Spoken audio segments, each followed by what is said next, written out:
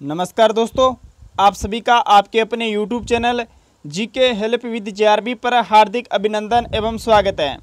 मित्रों, इस वीडियो में हम बात करेंगे प्री बीएसटीसी और पीटेट एग्ज़ाम 2020 के लिए राजस्थान सामान्य ज्ञान के मोस्ट इंपॉर्टेंट 50 क्वेश्चंस के बारे में। तो वीडियो को अंतिम समय तक ध्यानपूर्वक देखें और अंत में आपसे एक जीके का क्वेश्चन भी पूछा जाएगा, जिसका जवाब भी आपको वीडियो के कमेंट बॉक्स में देना होगा। तो दोस्तों, वीडियो को स्टार्ट करें। इससे पहले आपसे निवेदन रहेगा कि आपने अभी तक यूट्यूब चैनल को सब्सक्राइब नहीं किया है तो इसे सब्सक्राइब ज़रूर करें और पास में जो बेल आइकन बना हुआ है, उसे भी प्रेस कर दें ताकि जब भी हम न्यू वीडियो अपलोड करें तो आपको नोटिफिकेशन मिल जाए। चलिए स्टार्ट करते हैं। आज का फ़र्स्ट क्वेश्चन है आपके सामने। राजस्थान के कितने ज़िले उत्तर प्रदेश को स्पर्श करते हैं? तो मित्रों, राजस्थान के दो ज़िले उत्तर प्रदेश को स्पर्श करते हैं। इस क्वेश्चन का बी ऑप्शन राइट है। ये दो ज़िले कौन कौन से हैं? भरतपुर और धौलपुर। ये आपको ध्यान है, रखना है। अगर क्वेश्चन पूछा जाए कि उत्तर प्रदेश के साथ राजस्थान की कुल कितनी सीमा लगती है तो आपको ध्यान रखना है, आठ किलोमीटर उत्तर प्रदेश के साथ राजस्थान की सीमा रेखा लगती है। और उत्तर प्रदेश के दो ज़िले राजस्थान के साथ सीमा बनाते हैं, उन दो जिलों के नाम है आगरा और मथुरा।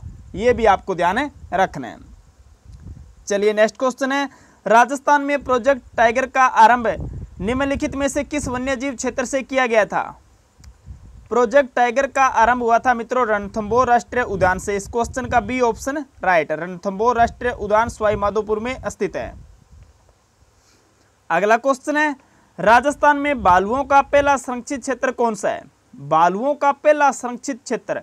यह मित्रों सुंदा माता संरक्षित क्षेत्र। इस क्वेश्चन का ऑप्शन ए राइट है। इंपॉर्टेंट क्वेश्चन है एग्ज़ाम में यह पूछा गया तो आपको ध्यान रखना है। अगर आपने अभी तक वीडियो को लाइक नहीं किया तो इसे लाइक ज़रूर करें और अपने दोस्तों के साथ इसे ज़्यादा से ज़्यादा शेयर करें ताकि उन्हें भी फ़ायदा मिल सके। चलिए, अगला क्वेश्चन है, राजस्थान में सर्वाधिक नदियों का उद्गम किस ज़िले से होता है? बताइए मित्रों, राजस्थान में जो सर्वाधिक नदियों का उद्गम होता है, वो होता है मित्रों उदयपुर ज़िले से। इस क्वेश्चन का सी ऑप्शन राइट है। और राजस्थान के दो ज़िले ऐसे हैं जहाँ से कोई भी नदी प्रवाहित नहीं होती है। कौन कौन से वो? बीकानेर और चूरू। ये आपको ध्यान रखना है। चलिए अगला क्वेश्चन है, राजस्थान में सर्वाधिक नदियाँ किस संभाग में प्रवाहित होती है? राजस्थान में जो सर्वाधिक नदियाँ मित्रों, वो प्रवाहित होती है कोटा संभाग में। इस क्वेश्चन का डी ऑप्शन राइट है। ये तो संभाग हो गया। अगर क्वेश्चन पूछा जाए कि राजस्थान के कौन से ज़िले से सर्वाधिक नदियाँ प्रवाहित होती है तो आपको ध्यान रखना है झालावाड़ ज़िले से। झालावाड़ ज़िले से सर्वाधिक नदियाँ प्रवाहित होती है और संभाग बात करें तो कोटा संभाग राइट हो जाएगा। चलिए छठा क्वेश्चन है। पाली ज़िले का रणकपुर जैन मंदिर किस नदी के किनारे स्थित है? यह क्वेश्चन बहुत बार पूछा गया कि रणकपुर जैन मंदिर कहाँ स्थित है? तो आपको ध्यान रखना है, पाली ज़िले में स्थित है। और ये मथाई नदी के किनारे स्थित है। इस क्वेश्चन का सी ऑप्शन राइट है। सातवां क्वेश्चन है, बीकानेर के किस राजा ने गोगामेडी को वर्तमान स्वरूप प्रदान किया था? गोगामेडी नोहर हनुमानगढ़ में स्थित है। यह आपको ध्यान रखना नोहर हनुमानगढ़ में गोगामेडी स्थित है और बीकानेर के महाराजा गंगा सिंह ने गोगामेडी को वर्तमान स्वरूप प्रदान किया था। इस क्वेश्चन का डी ऑप्शन राइट है। चलिए अगला क्वेश्चन है। राजस्थान के लघु पुष्कर उपनाम से विख्यात मांडव ऋषि की तपोस्थली किस ज़िले में स्थित है? राजस्थान का जो लघु पुष्कर है मित्रों, वो है मांडव ऋषि की तपोस्थली। और ये है मित्रों, देवली टोंक में। इस क्वेश्चन का डी ऑप्शन राइट है। चलिए नौवा क्वेश्चन है, उदयपुर में स्थित कौन सी झील राजस्थान की सबसे बड़ी मीठे पानी की झील है? राजस्थान की सबसे बड़ी मीठे पानी की झील। जयसमंद झील है, इस क्वेश्चन का डी ऑप्शन राइट है।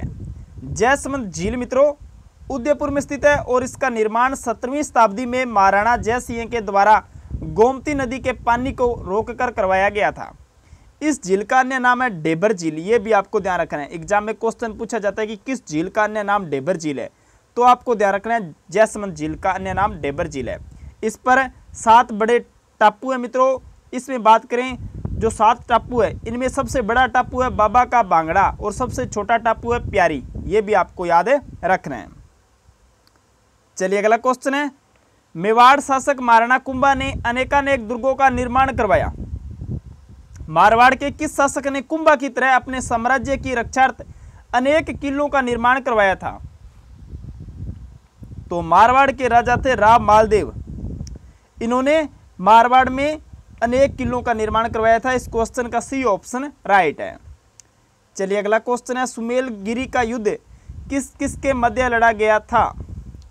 सुमेल गिरी का युद्ध यह इंपॉर्टेंट क्वेश्चन है, बहुत बार एग्ज़ाम में पूछा गया है। यह युद्ध हुआ था मित्रों, राम मालदेव व शेरशाह सूरी के मध्य, इस क्वेश्चन का डी ऑप्शन राइट है। यह युद्ध पंद्रह ईस्वी में हुआ था यह आपको ध्यान रखना है।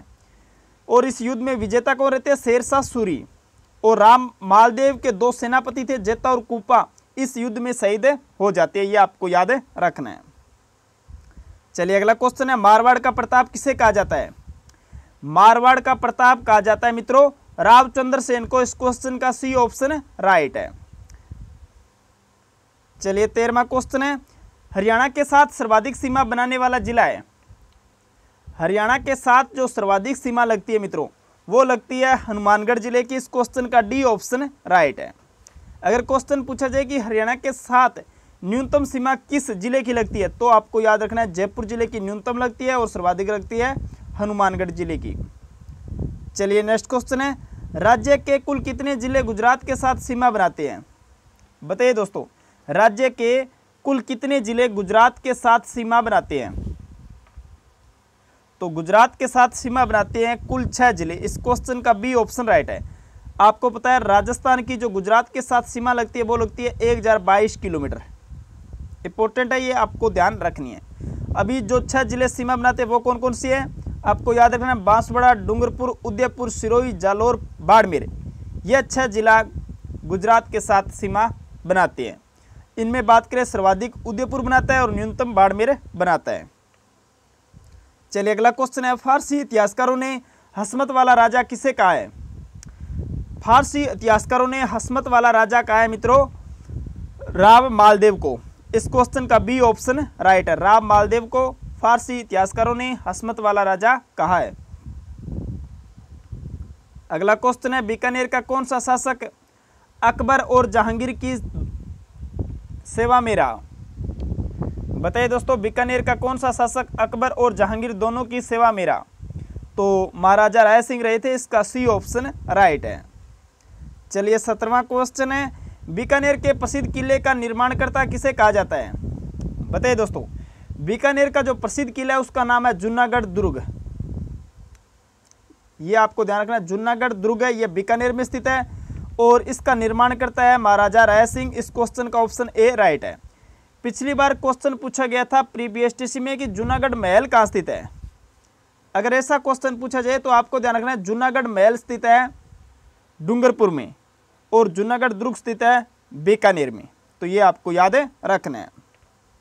अठारहवा क्वेश्चन है जिस राजपूत राजवंश ने स्वेच्छा से अकबर का लोहा मारने में अगुवाई की तो स्वेच्छा से अकबर का लोहा मारने में अगुवाई की थी कछवा राजवंश ने, इसका ऑप्शन ए राइट है।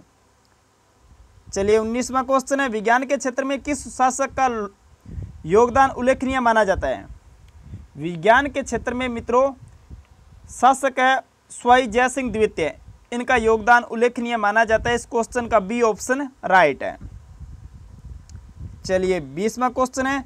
स्वाई जय द्वितीय, मुगल सम्राट द्वारा कुल कितनी बार मालवा सूबे का सूबेदार नियुक्त किया गया? तो स्वाई जय द्वितीय, मुगल सम्राट द्वारा मालवा सूबे का तीन बार सूबेदार नियुक्त किया गया था। इस क्वेश्चन का बी ऑप्शन राइट है। चलिए अगला क्वेश्चन है। छत्रपति शिवाजी को पुरंदर की संधि सोलह ईस्वी करने हेतु विवश करने वाले शासक थे। तो मित्रों, छत्रपति शिवाजी को पुरंदर की संधि करने हेतु विवश करने वाले शासक थे मिर्ज़ा राजा जय सिंह। यह आपको ध्यान रखना है, मिर्ज़ा राजा जय सिंह, इस क्वेश्चन का डी ऑप्शन राइट है। वेरी वेरी इंपॉर्टेंट क्वेश्चन है एग्ज़ाम में अक्सर पूछा जाता है तो आपको ये ध्यान रखना है। चलिए अगला क्वेश्चन है, राज्य की सबसे कम अवधि के लिए मुख्यमंत्री रहने वाले राजनेता कौन है? तो सबसे कम अवधि के लिए मुख्यमंत्री रहे थे हीरालाल देवपुरा। इस क्वेश्चन का डी ऑप्शन राइट है। मात्र 16 दिन मुख्यमंत्री रहे थे यह आपको ध्यान रखना है। और सर्वाधिक समय के लिए मुख्यमंत्री रहे थे मोहनलाल सुकाड़िया, जो कि लगभग सत्रह वर्ष तक राजस्थान के मुख्यमंत्री रहे थे। अगला क्वेश्चन है, राजस्थान में ब्लू पोल्ट्री का प्रमुख केंद्र कौन सा है? ब्लू पोल्ट्री का जो प्रमुख केंद्र है, वो है जयपुर। इस क्वेश्चन का बी ऑप्शन राइट है। चलिए अगला क्वेश्चन है कृपाल सिंह शेखावत ने किस कला को देश भर में फैलाया था? बताइए मित्रों, कृपाल सिंह शेखावत ने किस कला को देश भर में फैलाया था? तो ब्लू पोट्री इसका डी ऑप्शन राइट हो जाएगा। शेखावाटी से संबंधित है, महू गाँव सिक्कर में इनका जन्म हुआ था, कृपाल सिंह शेखावत का। चलिए अगला क्वेश्चन है, बाटाडू का कुआ बाड़मेर किसके द्वारा बनवाया गया? बताइए मित्रों, बटाडू का कुआ जो कि बाड़मेर में स्थित है, ये किसके द्वारा बनवाया गया था? तो ये बनवाया गया था रावल गुलाब सिंह के द्वारा। इस क्वेश्चन का बी ऑप्शन राइट है। चलिए अगला क्वेश्चन है।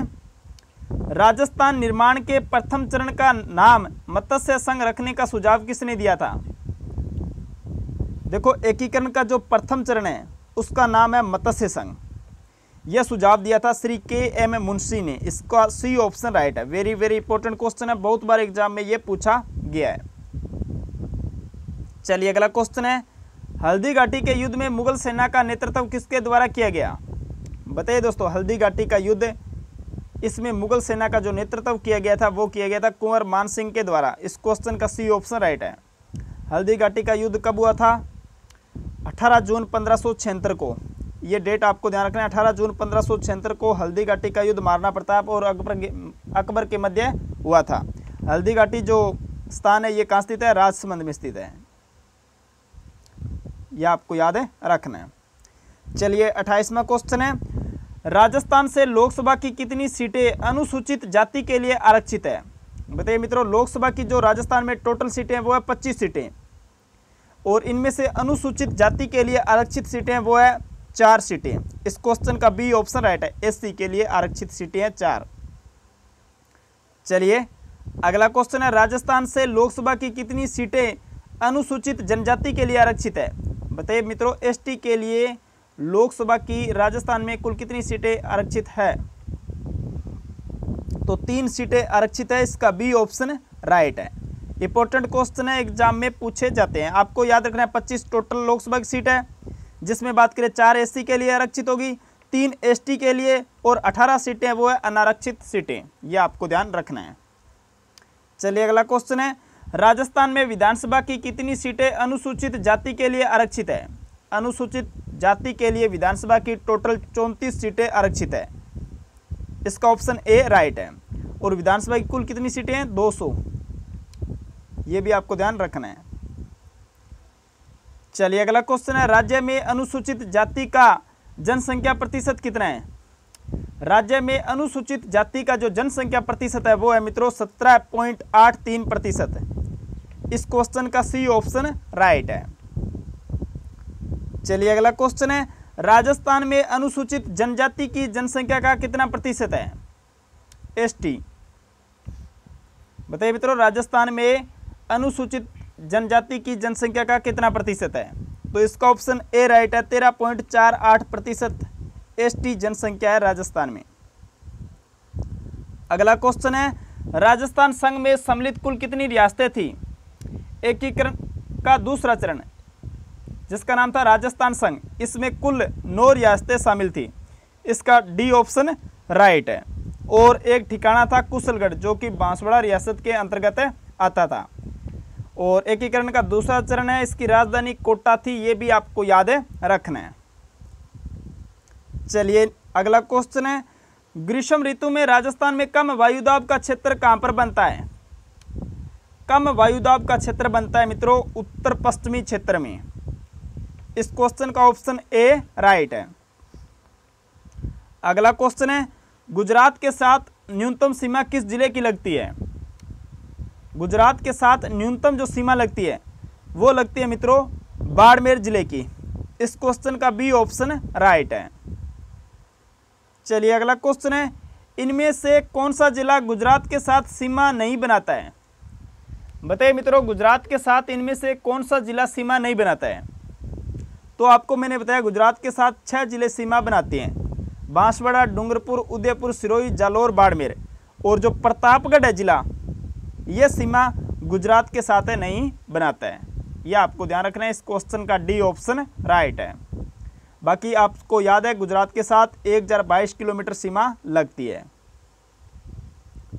अगला क्वेश्चन है, रामसर कन्वेंशन के अनुसार निम्न में से कौन सा अभ्यारण्य वेटलैंड नम भूमि के रूप में चयनित किया गया है? तो मित्रों वेटलैंड यानी कि नम भूमि के रूप में चयनित किया गया केवलादेव अभ्यारण्य, जो कि भरतपुर में स्थित है, इसका ऑप्शन ए राइट है। चलिए अड़तीसवा क्वेश्चन है टायर एवं ट्यूब का कारखाना कहाँ पर स्थित है? टायर एवं ट्यूब का कारखाना स्थित है मित्रों कांकरोली राजसमंद में। इस क्वेश्चन का डी ऑप्शन राइट है। वेरी वेरी इंपॉर्टेंट क्वेश्चन है। अक्सर एग्ज़ाम में ये पूछा जाता है। तो आपको ध्यान रखना है, टायर एवं ट्यूब का कारखाना कांकरोली राजसमंद में स्थित है। चलिए अगला क्वेश्चन है। भारतीय वन्यजीव संरक्षण अधिनियम उन्नीस सौ बहत्तर को राजस्थान में किस वर्ष लागू किया गया? तो मित्रों, भारतीय वन्य जीव संरक्षण अधिनियम उन्नीस को राजस्थान में लागू किया गया था। उन्नीस में इस क्वेश्चन का सी ऑप्शन राइट है। और आपको पिछले वीडियो में बताया था जो वन्य जीव है, यह मित्रों, समवर्ती सूची का विषय है। और समवर्ती सूची का विषय कब घोषित किया गया था वन्य जीव को? उन्नीस सौ छिहत्तर में। चलिए, चालीसवा क्वेश्चन है, राजस्थान का पहला बियर रेस्क्यू सेंटर कहाँ है? तो पहला बियर रेस्क्यू सेंटर है। जयपुर में इसका ऑप्शन ए राइट है। चलिए इकतालीसवा क्वेश्चन है। बाड़मेर सांचौर बेसिन प्रसिद्ध है। बताइए मित्रों, बाड़मेर सांचौर बेसिन है। यह किसके लिए प्रसिद्ध है? ऑप्शन आपके सामने जिप्सम हेतु बायोगैस हेतु, खनिज पदार्थ हेतु पेट्रोलियम हेतु। तो बाड़मेर सांचौर बेसिन पेट्रोलियम हेतु प्रसिद्ध है। इसका डी ऑप्शन राइट है। अगला क्वेश्चन है। राजस्थान का वह लोक देवता जिसे पीरों का पीर कहा जाता है। पीरों का पीर। वेरी वेरी इंपॉर्टेंट क्वेश्चन है। बहुत बार एग्ज़ाम में पूछा गया है। तो बाबा रामदेव जी को कहा जाता है, इसका ऑप्शन ए राइट है। और बाबा रामदेव जी के गुरु का नाम था बालीनाथ। यह आपको ध्यान रखना है एग्ज़ाम में अक्सर पूछा जाता है। बाबा रामदेव जी के गुरु का नाम बालीनाथ।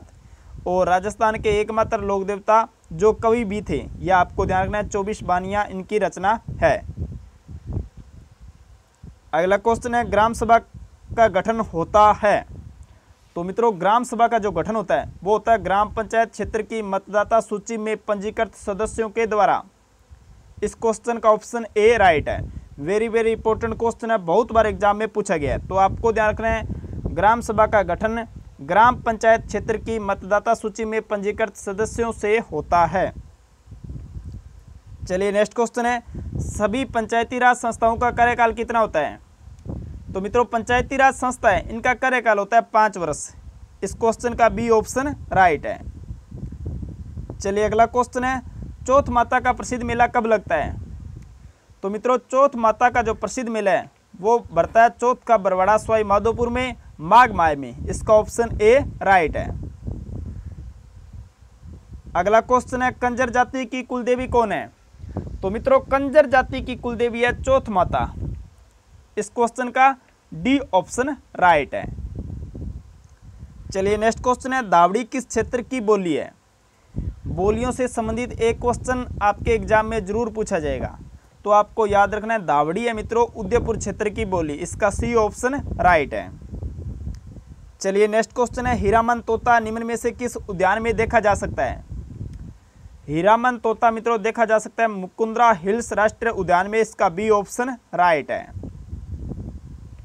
उनचासवा क्वेश्चन है, केसरबाग वन्यजीव अभ्यारण्य, राजस्थान के निम्नलिखित में से किस ज़िले में स्थित है? केसरबाग वन्यजीव अभ्यारण्य, धौलपुर ज़िले में स्थित है, इसका बी ऑप्शन राइट है। इंपॉर्टेंट क्वेश्चन है एग्ज़ाम में अक्सर पूछा जाता है तो आपको ये ध्यान रखना है। केसरबाग वन्यजीव अभ्यारण्य धौलपुर ज़िले में स्थित है। आज का अंतिम क्वेश्चन है, राजस्थान का ताजमहल किस महल को कहा जाता है? तो मित्रों, राजस्थान का ताजमहल जसवंत थड़ा जोधपुर को कहा जाता है, इसका बी ऑप्शन राइट है। ये भी क्वेश्चन इंपॉर्टेंट है, बहुत बार एग्ज़ाम में पूछा गया है। तो दोस्तों, ये थे मोस्ट इंपॉर्टेंट पचास क्वेश्चंस आपको यह वीडियो कैसा लगा, यह वीडियो के कमेंट बॉक्स में ज़रूर बताएँ। और इन पचास क्वेश्चंस में से आपके कुल कितने क्वेश्चन राइट हो रहे हैं, यह भी कमेंट बॉक्स में ज़रूर बताएँ। यहाँ पर आपका मूल्यांकन भी हो जाएगा और राजस्थान सामान्य ज्ञान से संबंधित आपकी कैसी तैयारी चल रही है, वो भी आपको पता चल जाएगा। साथ में दोस्तों, आपसे निवेदन रहेगा कि डिस्क्रिप्शन में लिंक दिया गया टेलीग्राम चैनल का। टेलीग्राम चैनल को आप ज़रूर ज्वाइन करें। और मेरे साथ जुड़ने के लिए इंस्टाग्राम आईडी के माध्यम से भी मुझे फॉलो कर सकते हैं। इसका लिंक भी आपको डिस्क्रिप्शन में मिल जाएगा। चलिए अब बात करते हैं लास्ट वीडियो में जो आपसे क्वेश्चन पूछा गया था उसके बारे में। लास्ट वीडियो में आपसे क्वेश्चन पूछा गया था कि महाराणा प्रताप की जन्मस्थली है। तो मित्रों महाराणा प्रताप की जन्मस्थली है कुंभलगढ़। इसका डी ऑप्शन राइट था और आप सभी ने इस क्वेश्चन का जवाब राइट दिया। आपको पुनः कहता हूँ क्वेश्चन का जवाब आप कमेंट बॉक्स में ज़रूर लिखा करो। चलिए अब बात करते हैं क्वेश्चन ऑफ़ द डे के बारे में। आज का क्वेश्चन है, द्वारिकाधीश का मंदिर कहाँ पर स्थित है? ऑप्शन आपके सामने कांकरोली, नागौर, ओसिया जैल तो मित्रों, इसका जवाब आप कमेंट बॉक्स में ज़रूर लिखें। मिलते हैं नेक्स्ट वीडियो में। बहुत जल्दी, तब तक के लिए जय हिंद, वंदे मातरम, जय भारत।